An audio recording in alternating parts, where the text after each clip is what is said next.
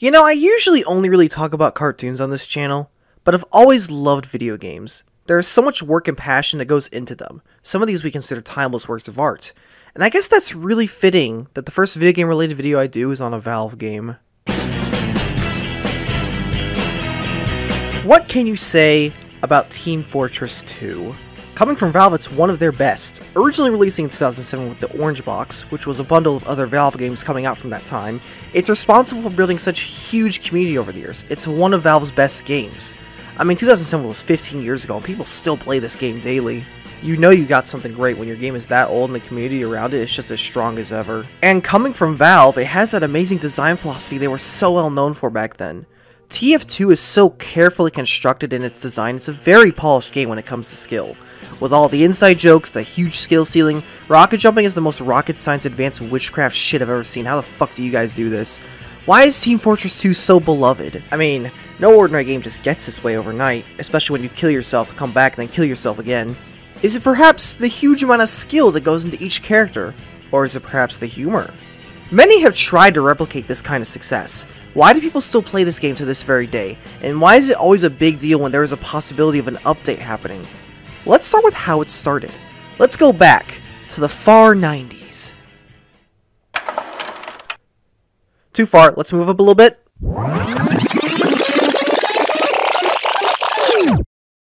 Quake.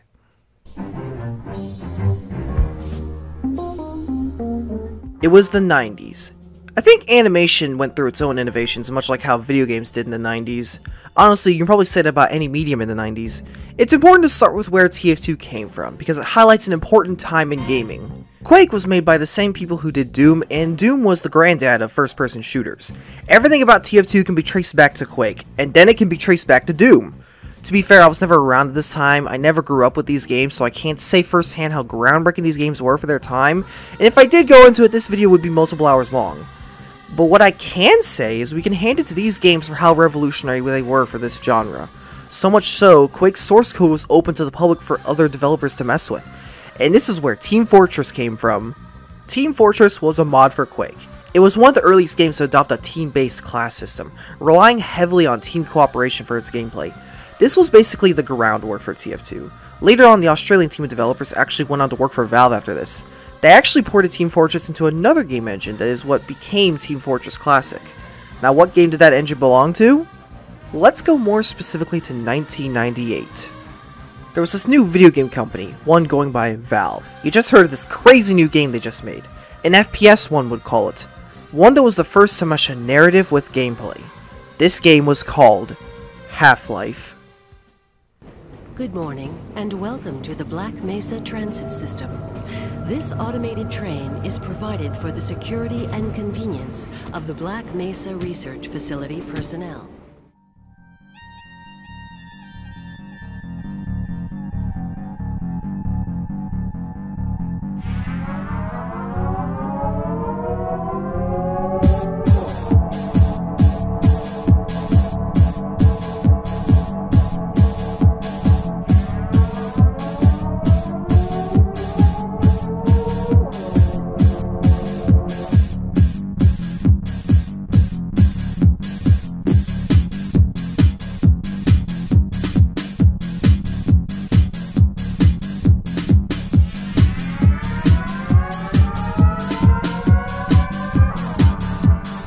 It was a genre-defining game. It pushed game design further, it questioned what was possible with narratives in gaming, and it was really the first to do it.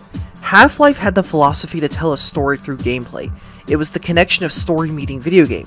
This was Valve's first game and already they had built a standard. If you played a Valve game, you were getting something of supreme quality. This, in my opinion, was the design philosophy that went into TF2. Starting in 1998, production on TF2 would begin. So what was this sequel of a Quake mod gonna look like? Originally they were gonna go with a realistic look, opting for a look similar to Half-Life. Of course, over time, this design philosophy changed to what we see in the game. Having the characters be realistic in a heavily class-based team shooter would have caused a few issues. Players not being able to differentiate each class during gameplay. This is a problem Team Fortress Classic had. The game wouldn't stand out, and can you really imagine a game like this lasting a lifetime? Honestly, a lot of these games with this look back then aged pretty bad in looks if I'm being honest. So with that, there was a new design philosophy, putting stylization over everything. This was going to be a class-based team shooter, so they imagined how skilled can a player get at these characters. What is each character about, why should you care about them? The whole look and feel of the game was so important, it's honestly why it took 9 years to make it. Many, many concept arts were made. They were actually going to go with an alien theme for the game at one point. Then with that, they had it. There were a lot of things that changed from this early trailer, but this was about it. It was a Cold War 1960s-esque style they had created. The silhouettes, the character designs, red versus blue, now this lasts a decade. This was how they created the TF2 Mercs. Now of course I'm sure I've talked about this before in other videos, an artist's job is only half done once you have a design. What does TF2 do with these designs that makes it work? Team Fortress 2, I guess you can definitely say, has a bit of a sense of humor.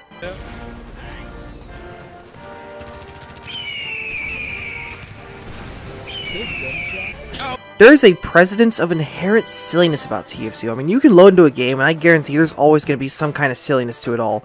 The ragdolls, the stupid one-liners, characters screaming, they're all so characterized, and this is best shown in the shorts.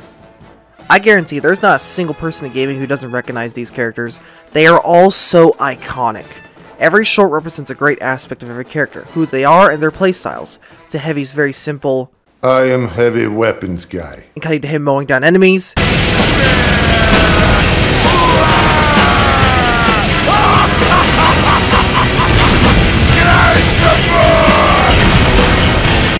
You see, Heavy is not just a crazy gunman. He has feelings. He has PhD in Russian literature. He has philosophical thoughts and might just be the smartest on the team.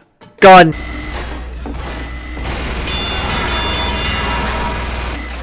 It is here I realize, wow, this short is actually very smart because that explains his playstyle very well. I didn't understand it for the longest time, but now I get it. Heavy is a straightforward class that relies heavily on his team. It requires the player to think about his approach to make an effective push.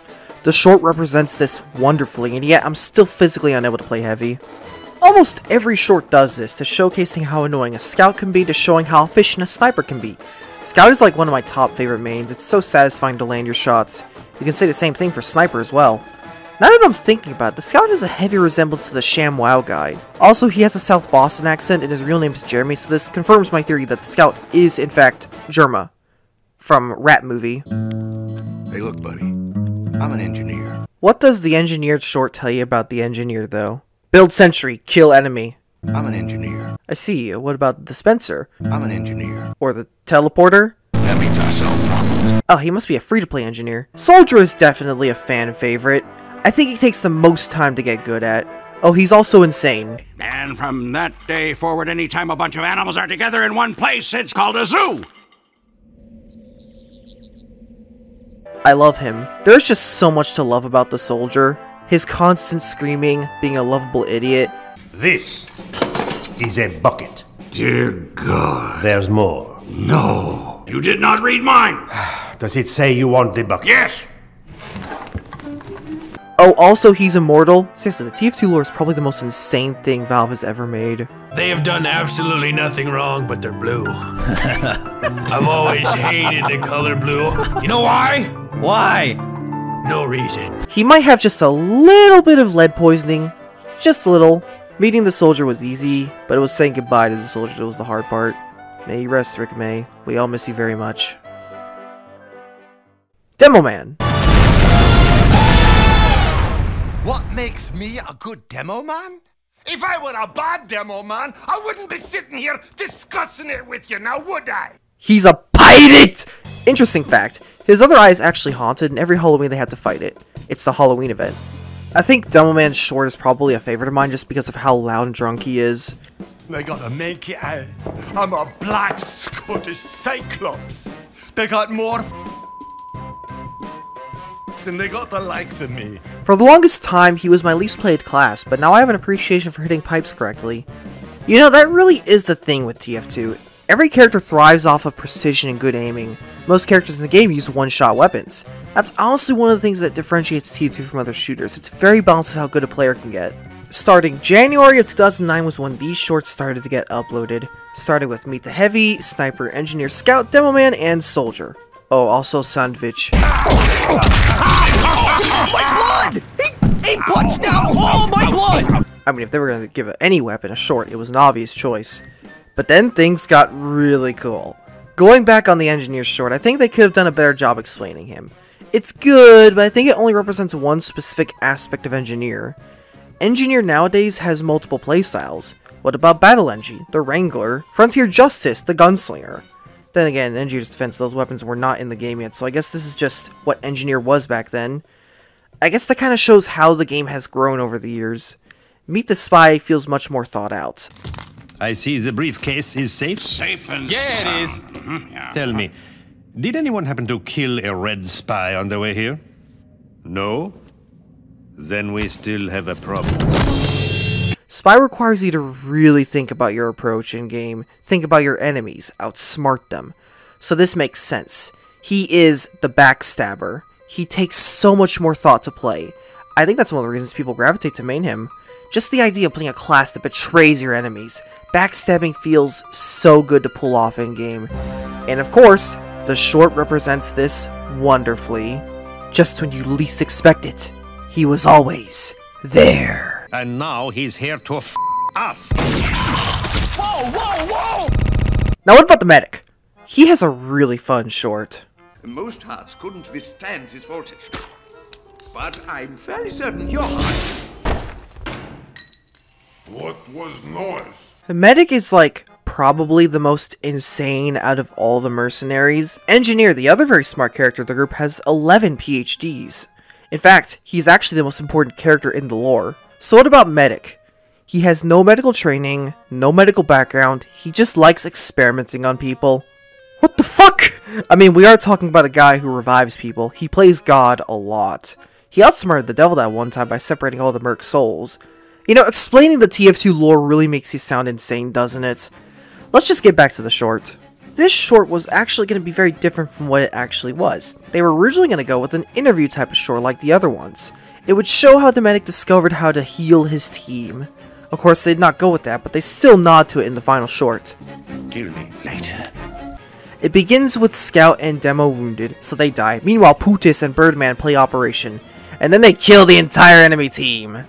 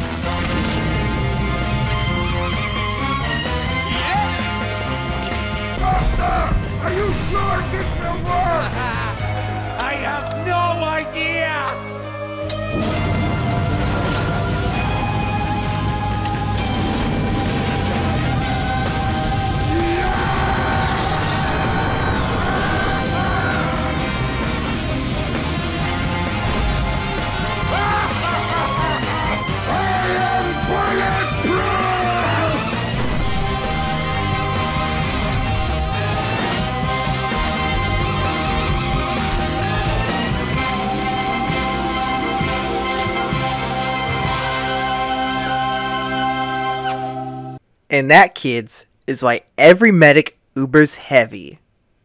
And only heavy. You stupid motherfucker! Oh man, you would not believe how much this hurts. Archimedes? The, the, the pigeon flew out of me. Oh, fuck. And finally, we've made it to Pyro, TF2's most mysterious character. I fear no man, but that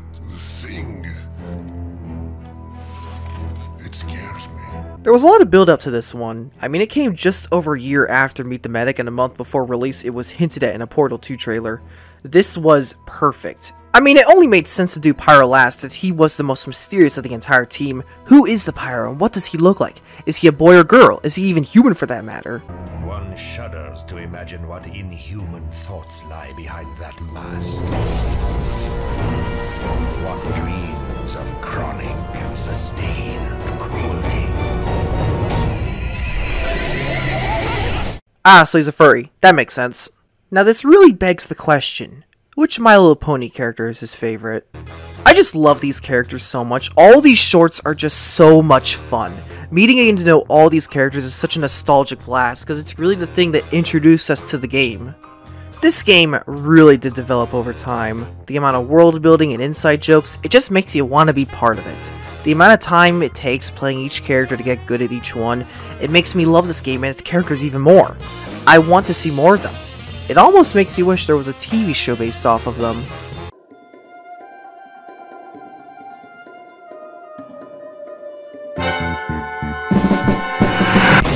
Expiration date is honestly the closest we ever got to getting a TF2 show. What do the TF2 characters do when they aren't on the clock? I mean, we sort of got that in the Telltale game Poker Night, but that is that really canon?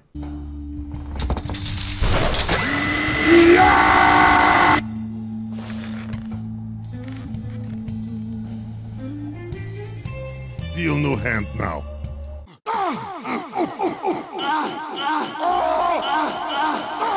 I am the Ubermensch. This 14 minute short feels like what a TV show about these characters would be like. Soldier is the lovable idiot, medic and engineer are basically the smartest of these mercs, and Spy and Scout hate each other.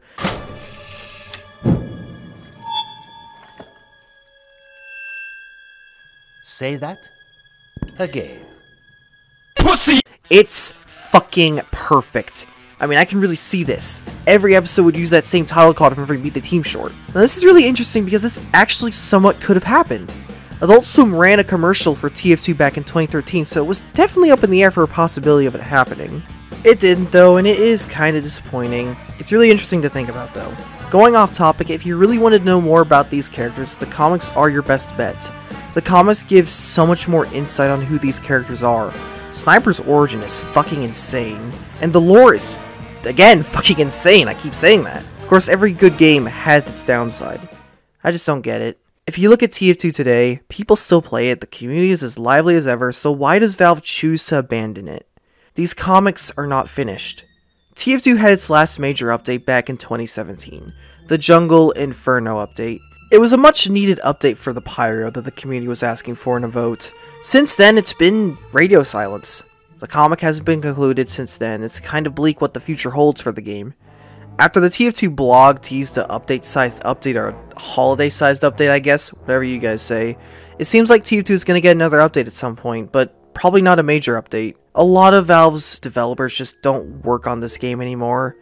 It's really sad to think about it. But as is tradition for my videos, I'm gonna look on the bright side. Good news! We're not dying! We are going to live forever! TF2 will never die. I will always be endlessly impressed by the community around this game. All the SFM animations, the Garry's Mod animations. I'm so happy this game is still around to this day. Like I said, the characters are what dragged me in. I stayed for the game. For this video, I really wanted to get some good clips for background footage, so me and a friend 1v1'd each other in one of those 1v1 servers, and him being a longtime player, and me who loaded up the game for the first time in 2016 on a shitty laptop, I go on to get my ass kicked, but I learned a bit about aiming, and I genuinely think I got better at it because of it. Who knows when the game will have another major update, but one thing's for sure. I love this world Valve created, I love this game, and the community is as strong as ever. TF2 has stood the test of time, and a lot of that can be attributed to the timeless characters. I love these characters, and TF2 will never die.